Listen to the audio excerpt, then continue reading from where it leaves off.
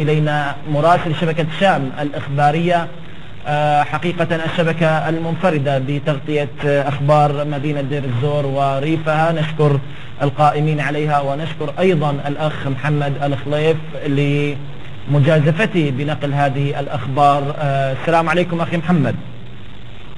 وعليكم السلام ورحمة الله وبركاته أخي أبو حسين وتحية لك وللسادة المشاهدين جميعا. بارك الله بك. كما سمعتنا تحدثنا مأساة حقيقية. الأهالي لا يعلمون من أين يتلقونها من طيران النظام من الحصار من انقطاع المواد الغذائية آه، آه، يعني حالة المشافي الميدانية مأساة. ملاحقة حتى الأطباء الميدانيين ملاحقة حتى آه، يعني من اختصت آه، الطبيبات النسائيات حتى تم ملاحقتهم حالة مأساوية بكل ما تحمله المعنى آه، الكلمة من معاني وصفة كيف تصف لنا أحوال المدنيين وأيضا أبطال الجيش الحر والصامدين داخل دير الزور وخارجها؟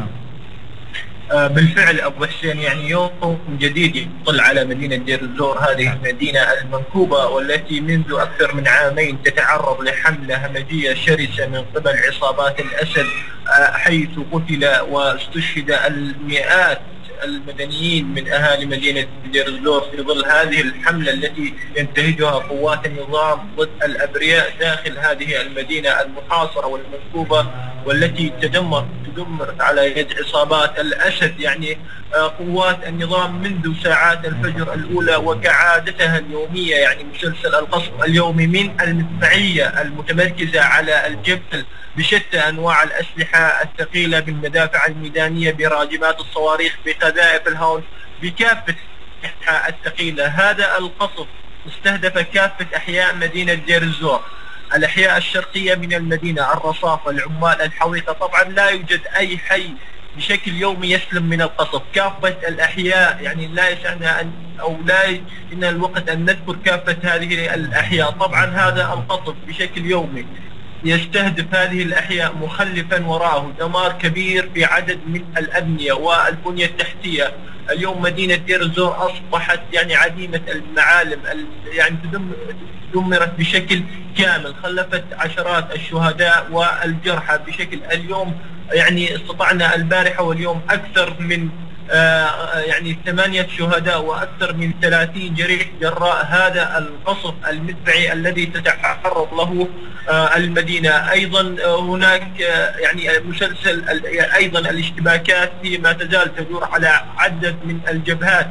داخل مدينة دير الزور طبعا الاشتباكات خاصة الأحياء الشرقية يعني وتحديدا حي الرصافة. اليوم الثوار وأبطال والمجاهدين داخل حي الرصافة ما زالوا صامدين ومرابطين في هذا الحي. هم يحاولون التقدم آه، في هذا الحي بسبب موقعه الاستراتيجي وقربه من المدفعية المتمركزة على الجبل. طبعا الاشتباكات دائما يستطيع استطاع الثوار من تكبيد عصابات الأسد العديد من القتلى في صفوف آه، الشبيحة. أيضا حي الحويقة هذا الحي الآخر قوات النظام ما تزال تحاول بشكل يعني شبه يومي اقتحام هذا الحي إلا أن الثوار ما زالوا صامدين ومرابطين في هذا الحي ويحاولون صد الحملات المتكررة والشرسة على حي آه، الحويقة. طبعا الثوار استطاعوا من تدمير آه، عدد من مقرات النظام خلال اليومين الماضيين بواسطة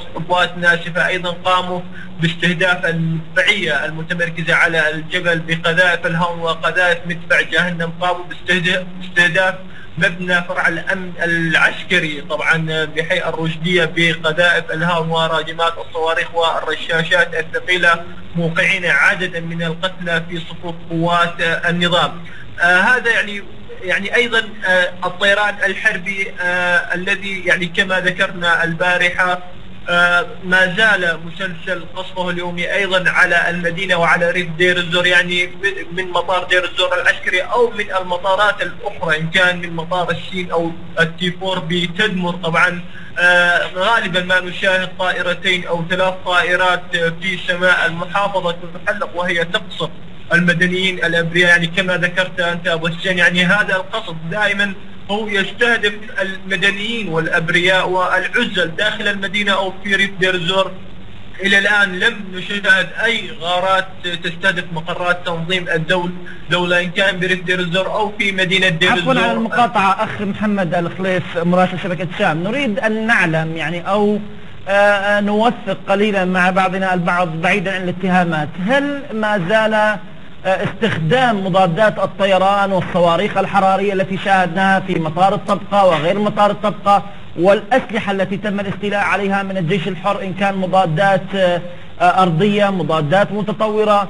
أين هي هذه المضادات؟ لماذا تسرح وتمرح يعني الطيران؟ وهناك توثيقات من حتى من عناصر تابعين لتنظيم الدولة يقولون بأن طائرة هبطت طائرة آه، أقلعت من مطار دير الزور العسكري ولم نشاهد استهداف لهذه الطائرات.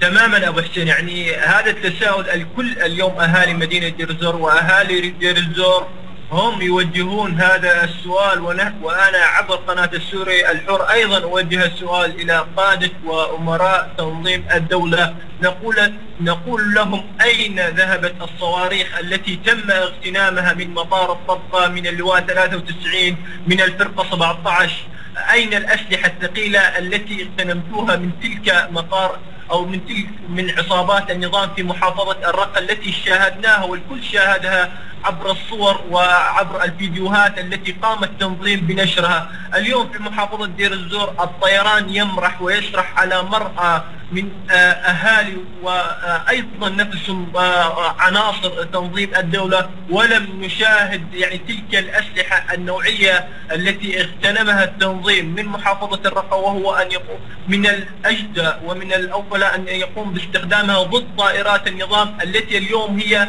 يعني أصبحت ترتكب المجازر شبه يومية آه، بحق أبناء محافظة دير الزور. يعني البارحة ثلاثة أطفال بعمر الورد يعني رغد وميشان وفخوري هذه ثلاث أطفال أعمارهم لم تتجاوز الخامسة من العمر. دماء هؤلاء الأطفال سيكونون يوم القيامة وسيسأل أمراء الدولة عن هؤلاء الأطفال الذي قام الطيران باستهداف منزلهم ولم نشاهد أن التنظيم يدافع أو أن يقوم باستهداف هذه الطيران على الرغم من أنهم يمتلكون أسلحة حتى الصواريخ الحرارية يمتلكونها وإلى الآن لم يقوموا باستهداف يقوموا باستهدافها. يعني لا نعرف إلى متى يقوم التنظيم باستهداف هذه الأسلحة. يعني عندما يقتل المئات أو الآلاف من أهالي دير الزور عندما ينزح عندما ينزح أو إلى الآن أو أريد أن أذكر يعني النقطة الأهم اليوم محافظة مدينة دير الزور والريف أصبحوا يعني أصبحت المحافظة تشهد حركة نزوح يعني حقيقة مخيفة يعني هناك افراغ للثورة داخل مدينة دير الزور ومن ريف دير الزور يوميا مئات العائلات أو عشرات العائلات تهاجر من محافظة دير الزور إلى إن كان إلى المحافظات الأخرى أو إلى خارج البلاد باتجاه تركيا أو باتجاه دول آه الخليج.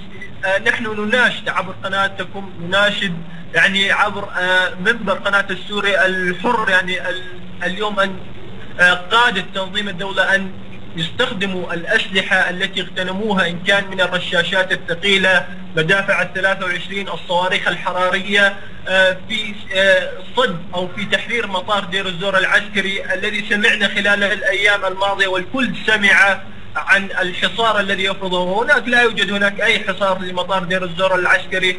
الطيران يقلع بكل أريحية بشكل يومي آه، يعني ثلاث طائرات أو طائرتين يوميا تخرج من مطار دير الزور العسكري دون أن يتم استهدافها. حقيقة الكل يستغرب يعني إلى متى يعني ما تزال هذه معركة مطار دير الزور الذي أصبح هذا المطار حلم يعني حلم أهالي دير الزور أن يخلصوا أن ينتهوا من هذا المطار الذي دمر ونكل بآلاف من أهالي محافظة دير نعم. الزور. أيضا الاشتباكات يعني ما تزال يعني هي في محيط المطار ولكن ليست تلك الاشتباكات التي نأملها أو التي ستكون آه، آه، آه، التي ستكون تحرير لهذا المطار من قبل عصابات. النظام هناك قصف متبادل بقذائف بالقذائف المدفعيه الثقيلة بالرشاشات الثقيلة. دون أي تقدم يذكر. أيضا نقطة أخيرة أريد أن أذكرها. يعني الوضع الإنساني يعني كما ذكرت حقيقة يوما عن يوم يزداد سوءا في ظل هذا الحصار في ظل تقصير المؤسسات الإغاثية الإنسانية الطبية. يعني الكل يعرف أن اليوم محافظة دير الزور أن الائتلاف قد حرم المحافظة بعد أن سيطر التنظيم على آه، محافظة دير الزور. نحن عبر قناتكم أيضا نوجه رسالة إلى المعارضة أن يمدوا يد العون ولو لأهال للأهالي النازحين اليوم الذين يعانون أشد المعاناة في ظل القصف في ظل الحصار آه، في ظل السياسة التي يتبعها التنظيم في ظل التعتيم الإعلامي الذي تشهده محافظة دير الزور شكرا جزيلا لك محمد الخليف الناشط الإعلامي مراسل شبكة شام الإخبارية على هذه التغطية من مدينة دير الزور وريفها.